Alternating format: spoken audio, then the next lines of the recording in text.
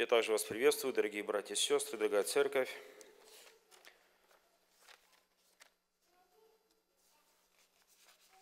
Господь нас питает и много что говорит нам из Слова Своего, научает нас, приготовляет наши сердца к тому дню, когда мы придем сюда для того, чтобы воспоминать Его голговские страдания. Сегодня мои мысли немножко о другом. Знаете, я готовил эту проповедь две недели назад. Ну, были гости, и гости участвовали. И поэтому эта тема у меня осталась. Знаете, я не дом много размышлял, много думал. Одно место, которое некогда записал Иисус Навин. Знаете, сколько раз читал Библию, сколько раз читал это место, и для меня потом только я увидел.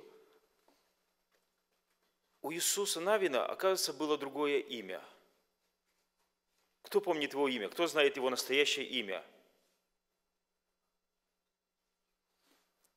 Я тоже всю жизнь думал, что сколько, сколько я читал, я думал, что это его имя было настоящее.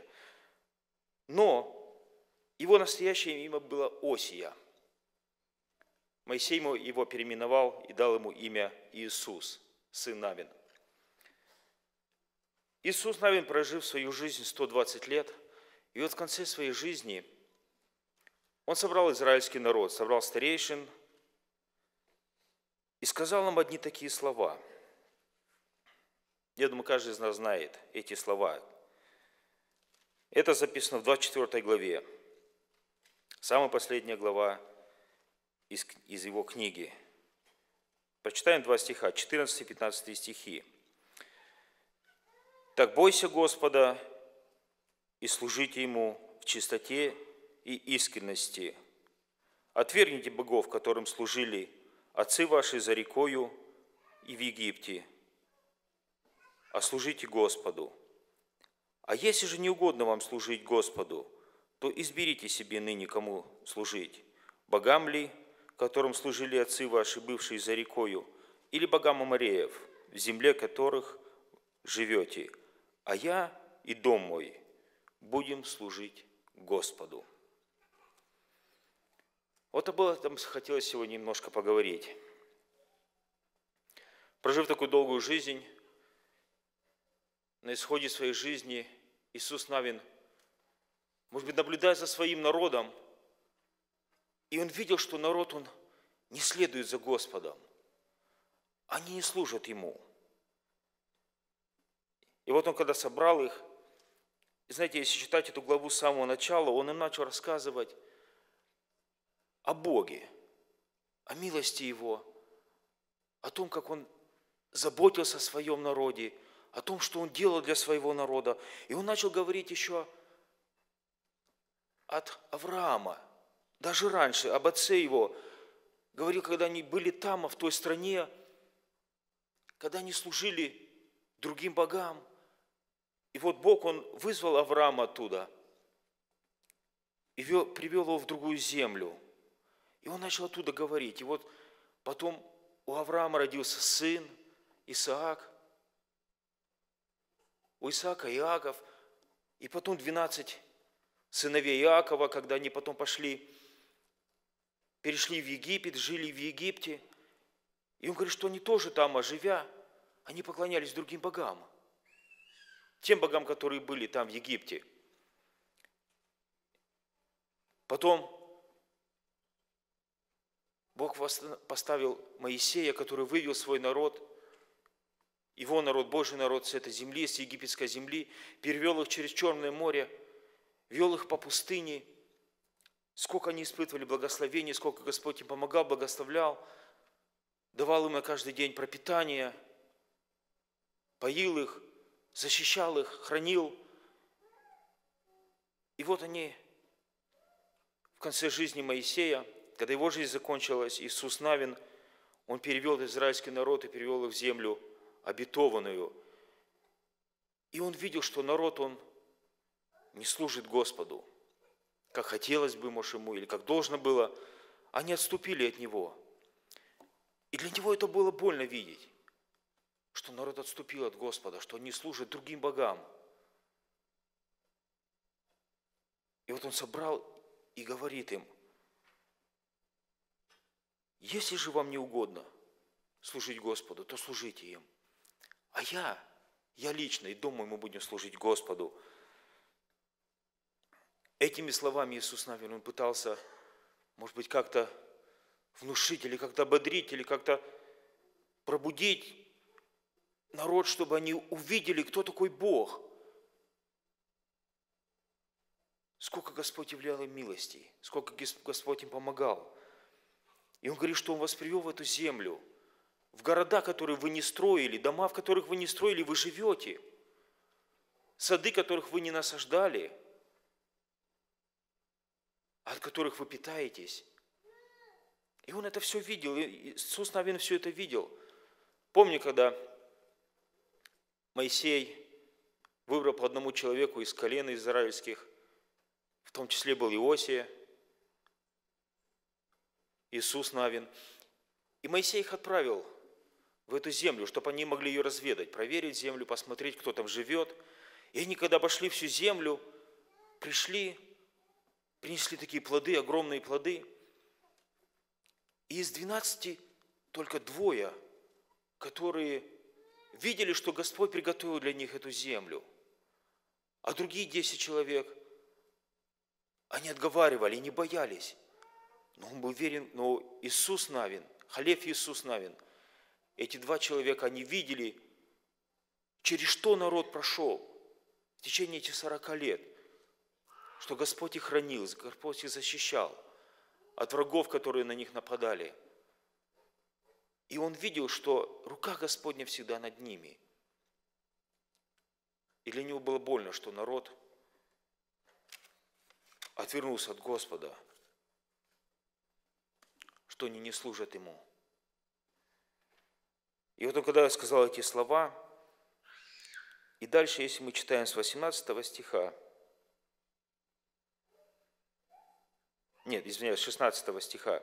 «И отвечал народ и сказал, нет, не будет того, чтобы мы оставили Господа и стали служить другим богам, ибо Господь Бог наш, Он вывел нас и отцов наших из земли египетской, из дома рабства, и делал пред глазами нашими великие знамения, и хранил нас на всем пути, по которому мы шли, и среди всех народов, через которые мы проходили – Господь прогнал от нас все народы Амареев, живущих в земле сей. Посему и мы будем служить Господу, ибо Он Бог наш. О, да, действительно, у народа было такое желание, увидя это все, нет, мы не будем служить другим богам, мы будем служить только Богу. Они тоже понимали, они тоже это видели, какой, какой путь они прошли, как их Бог хранил – и прогнал от них народы, которые жили в этой земле. Теперь они живут в этой земле. И у них было желание следовать за Господом. Хорошее желание, хорошее начало. Но, увы, если мы читаем дальше книгу судей, дальше царство, но мы видим, что так не было. Народ все-таки отступил от Господа – все-таки они не служили Ему. Господь поставлял судей, которые были над израильским народом. И вот помним, когда был Самуил. И когда Самуил состарился, и пришли к нему старейшины народа, и требовали от него, чтобы он им дал царя. Царя, как были как было у других народов, царей. Потому что в израильском народе, у Израиля не было царя. У них был Бог. Но они не захотели Бога, они захотели себе царя. И вот когда они пришли и сказали ему эти слова, давайте мы прочитаем, это записано в первой книге царств, 8 глава, 7 и 8 стих. Это когда Самуил уже сказал Господу все это. И сказал Господь Самуилу, послушай голоса народа во всем, что они говорят тебе, Ибо не тебя они отвергли, но отвергли меня, чтобы я не царствовал над ними. Как они поступали с того дня, в который я вывел их из Египта, и до сего дня оставляли меня и служили иным богам, так поступают, поступают они и с тобою. Действительно, Господь сказал, что как они поступали, так они поступают. В тот день, когда они вышли из земли египетской, как они служили другим богам, так они и служат. Как они отвергли меня и не хотят, чтобы я царствовал над ними.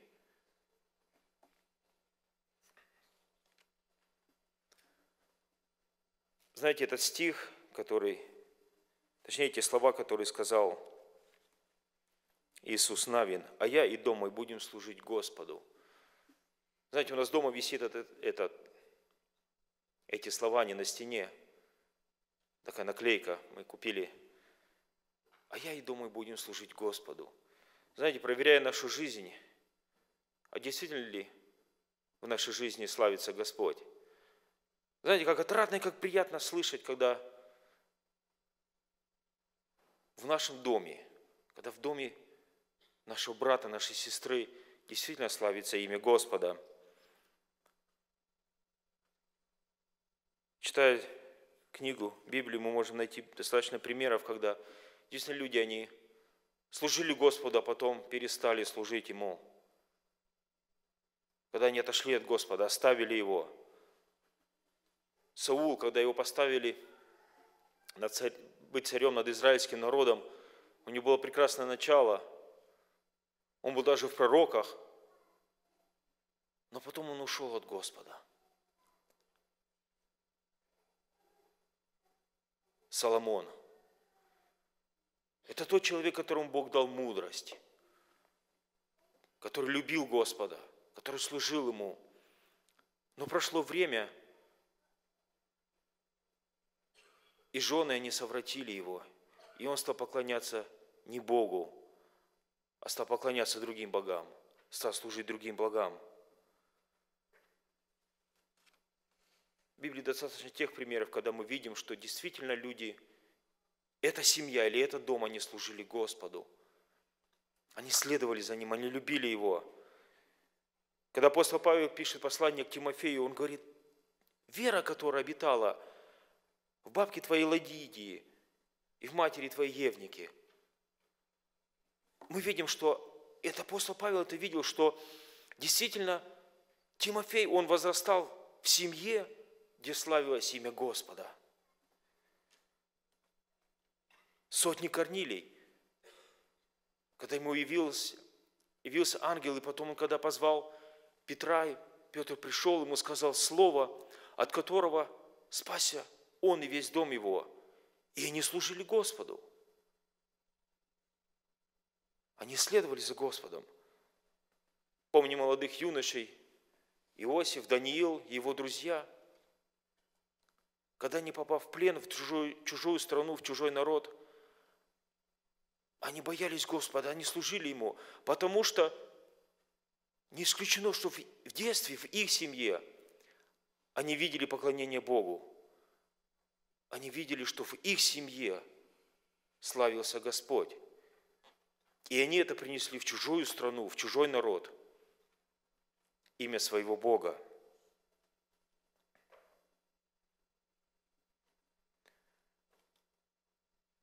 Прекрасный стих написан в Римлянам, в 12 главе, в 11 стихе. «В усердии не ослабевайте, духом пламенейте, Господу служите». Также апостол Иоанн в своем послании, в третьем послании, в первой главе, четвертым стихом пишет, «Для меня нет большей радости, как слышать, что дети мои ходят в истине». Как дети, когда дети мои ходят в истине, действительно, тот дом, та семья, которые служат Господу, которые следуют за Ним. Прекрасный гимн мы поем. Благословен тот дом, где сам Господь в том доме хозяином войдет, где славят Творца и Библию читают. Знаете, желание сердца моего, чтобы каждый из нас взял для себя этот стих в сердце свое, в свою жизнь, в свой дом, в свою семью, чтобы мы действительно, как Иисус Навин, сказали, а я и дом мой, я, моя жена, мои дети, мы будем служить Господу.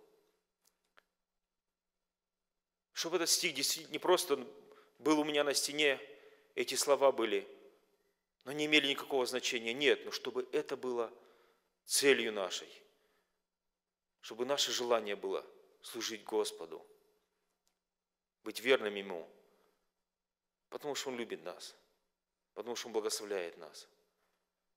Достоин ли Он того, чтобы мы Ему служили? Достоин. Это видел Иисус Навин, потому что он понимал, что если народ он будет служить Господу, если в их доме будет славиться имя Господа, это будет благословение для них.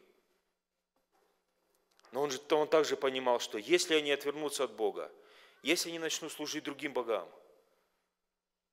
горе будет для народа. Дорогой брат, дорогая сестра, хотим ли мы, чтобы в нашей семье, чтобы в нашем доме славилось имя Господа – чтобы имели благословение от Господа. Я думаю, каждый из нас этого хочет. Да благословит нас Господь, чтобы мы всей нашей семьей служили Ему, дошли до тех небесных обителей. Когда мы все вместе встретимся там, чтобы мы могли всей нашей семьей, не только своей семьей, я и моя жена и дети, чтобы мы всей нашей большой семьей, всей нашей большой церковью могли быть там, славить имя Его. Да благословит нас Господь в этих рассуждениях, размышлениях, склонить наши головы, склонить наши колени, попросить Господа, чтобы Он дал нам силы всем нашим домам, всей нашей семьей служить Ему и славить имя Его. Аминь. Склонимся перед Господом.